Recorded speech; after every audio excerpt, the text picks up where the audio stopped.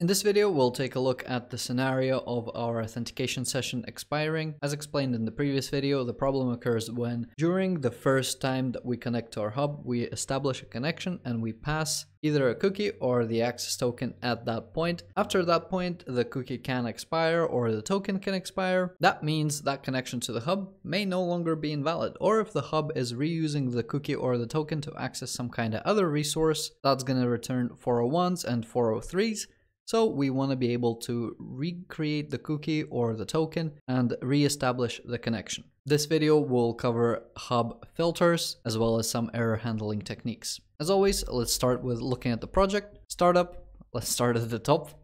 I have removed the JWT token authentication schema and in this project, similar to the previous one, we're just using the custom cookie authentication schema. This hub filter should really be enabled and we'll take a look at it a second, but the main difference between the custom cookie in the previous video, and if you haven't watched the previous video, link to the playlist is in the description and the source code is there as well. Our uh, custom cookie authentication handler is pretty much the same except for one thing and that's the expiry time.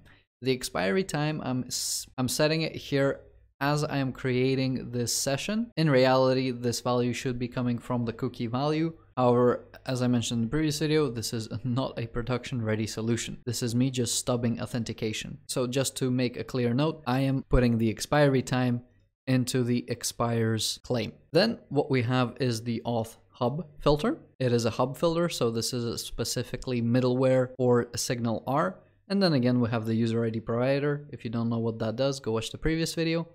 For the endpoints, we have the protected hub and then we have get cookies. Again, if you don't know what happened in the previous video, go watch it. But this is the more or less simple setup. We have index HTML. Uh, we have the connection to the protected hub we have the connection itself. Again, we have the timeout to know where 30 seconds has passed and the cookie or token has expired. By the way, I'm only working with the cookie in this video. If you want, you can logically replace the steps from cookies to tokens and it should work just fine. The ideas that I explain here should work for both. We then have the get cookie function, which just gets the cookie. We have some middleware, which we're to go over later and not middleware, but more like error handling and then we have the get method, which will just call the authorized resource on the hub. And then we have a little testing function here. In the startup, let's take a look at the protected hub. And protected hub is really simple. We have the authorized request where I just return a string. I have uh, the hub authorized on the custom cookie authentication schema, which is what we have registered here. And then we have the hub filter. Let's take a look at the hub filter. This is the interface that you have to implement and uh, then you just uh, you know have to add the filter in your SignalR options. But in the hub filter, you can specify three things. What happens on connected? So this would execute before the hub on connected uh, and on disconnected methods that I've showed in the feature overview videos. Otherwise, the more apparent one and the one that we are really interested is the method that is called before the actual handle on the hub. So before this is called, this will be called, and before the next filters. This is where I want to essentially handle the expiry time. This is where I read the expiry time, I parse it as a long because we're, we're storing ticks. I load it into the date time offset. I don't need any offset there. I'm using the UTC now, the same thing that I've used for when I created the cookie. And I subtract the expiry date. If right now is bigger than what we expect it to expire, it's going to be more than zero. That means authentication has expired and I'm gonna throw an exception. There are other ways that we can attempt to handle disconnecting the client from the server side, such as just sending another message or in the protected hub I have uh, the abort method here just to kind of highlight it. You can abort the connection. I'm just going to mention why some approaches might be preferable over the other ones and what I think should be done. Nevertheless we have uh, all these components. Let's go ahead and see them work.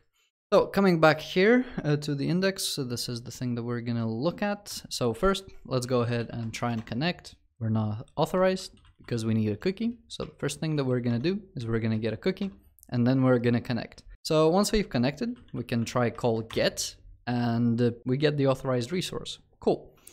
Now what's gonna happen is because I'm checking the expiry time here, it's basically it's gonna go finito in just a second. So now that it went finito, I'm gonna call get again and we're gonna see auth expired error detected we have disconnected and then we have reconnected and retried the request. Now just waiting for the finito to occur again. Now that finito is here, I'm just gonna run stress. And what we're gonna see is auth expire again detected. We're gonna see queuing request 19 times and then authorized request output 20 times. Taking a look at index.html, stress essentially runs the get function, so it invokes authorized resource 20 times once we have an expired cookie, and then all of those requests still succeed. So how do I do this? How do I handle this? Let's step over the code.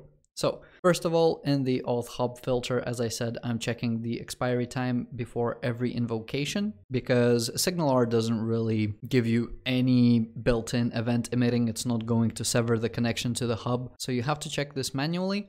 And what I'm doing is I'm throwing an exception. Now this is a special exception. This is not just extending an exception, it's extending a hub exception, okay?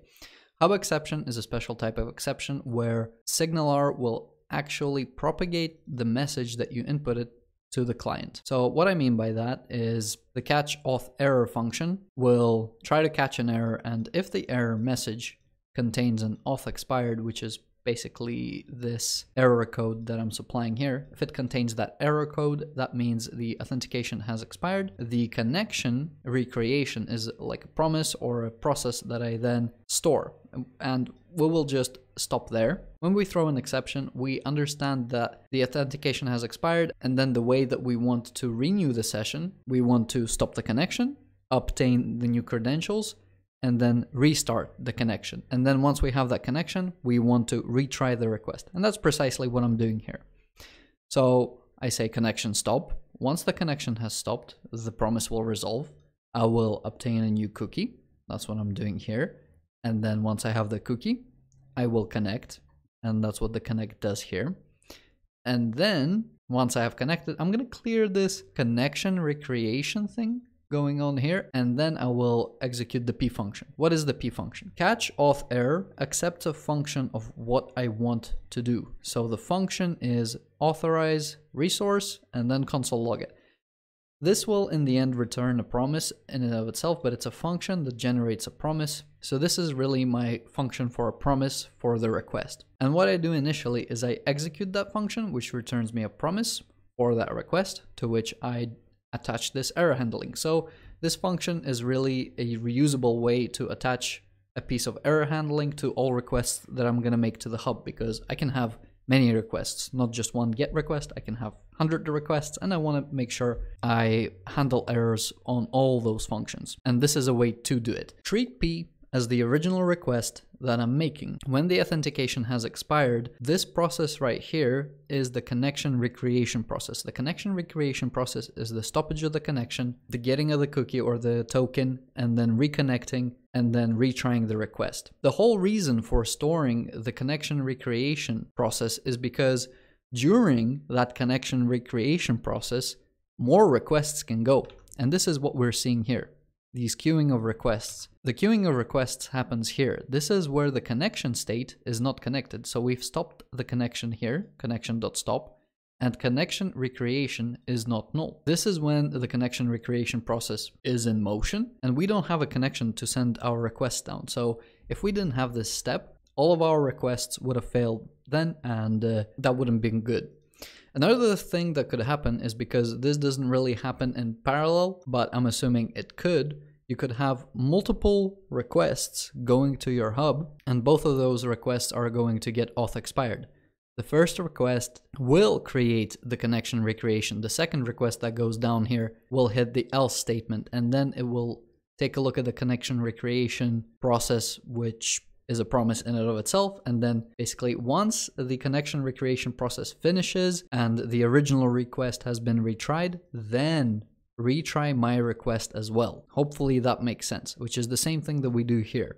If the connection recreation process promise exists, once it finishes, which is here, just go ahead and retry this original request as well. And this is how all 20 requests here get retried even though we're in the process of obtaining a new token or reconnecting and this is assuming you're not going to redirect somewhere because if you redirect somewhere the connection is going to be severed. So this is worst case scenario where you don't go anywhere you have some kind of background process that reobtains a token or a cookie and you're just staying on the same screen and you just need to handle those breaking connections in the background. This looks a little bit convoluted and if you haven't understood my explanation uh, i mean this piece of code may be a little bit hard to explain but stepping through it one by one, you should understand what it does. Also, uh, browser JavaScript is not a multi-threaded environment, so there is no real way to kick off all of these requests exactly at the same time. Other than that, we can actually take this through multiple approaches and you might come up with other solutions like, for example, sending a message session expired and doing the same process. So if we receive a message, session expired, so that means your authentication session has expired. That's uh, what I have in my auth hub filter. So instead of throwing an error, an exception, we're just going to send a call. Your session has expired. I'm not going to run this code, but I'm just going to explain why you don't want this. First, you will need this event management, which is uh, in and of itself isn't really scary. You will connection stop you will unsubscribe from this original event of session expire. That means if there is uh, another uh, re request in flight, it might not actually reach this. But we then go ahead to obtain a new cookie. We then try to reconnect where we resubscribe to this event. And then we want to retry the original request. This is where the hard part is. And uh, with this catching of the error, we have the original request on which we're catching the error. With this one, we don't have the information about what the original request is. If we do want that information, we need to keep it on the response. So the message that we're sending back, we need to put in the, put the information about the invocation context. What method are we invoking? What are the parameters, etc. Perhaps another, and I would say a least favorable, is having something like a dictionary or a store of invocations or failed invocations, and you're just going to say failed invocation, reason, so as in failed invocation, failed invocation ID, which you can then retry invocation and that will grab the invocation information from there and then invoke the correct action on the hub. Both of these solutions already require you to keep some state about the original invocation being made in order to, to retry it.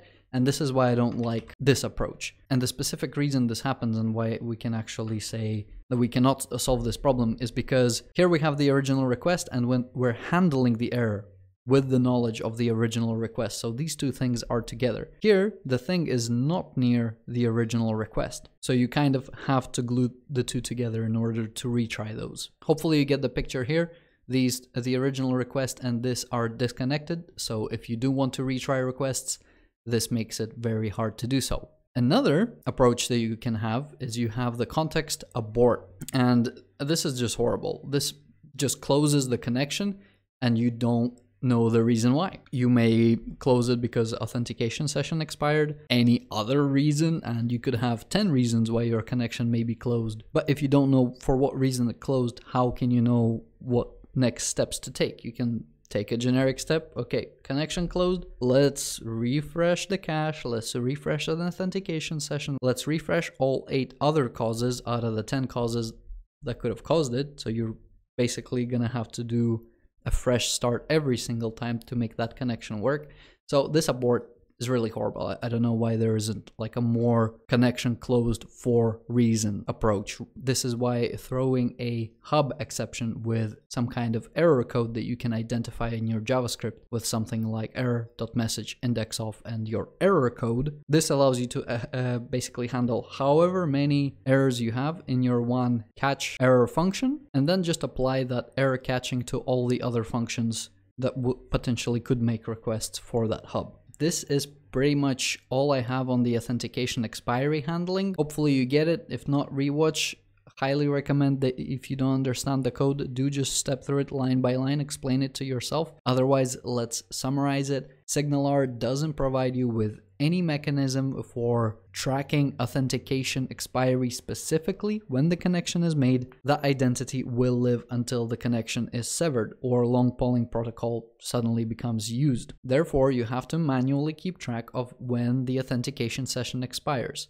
We do so through hub middleware and hub middleware implements IHubFilter. In the middleware, we check the current authenticated user. You can put if statements if this is for some unauthenticated endpoints, but essentially you check the expiry of the current session. If it's expired, it's preferable to throw an error code because there could be many error codes and it's easier to tie the failed request to retrying the requests later on rather than telling the hub that something has failed and then somehow trying to tie the two things together like oh yeah that, that request failed. Okay where's that actual request? What it was it? Let's retry it right? So we don't want to do this throw a custom exception to know exactly what has failed and for what reason so you can handle things appropriately. And then in order to actually get a new identity for your hub you have to reestablish that connection. So you have to disconnect obtain the new token or a cookie and then re-establish the connection. If you have any questions, make sure to leave them in the comment section or ask them on my Discord server. Thank you very much for watching and have a good day.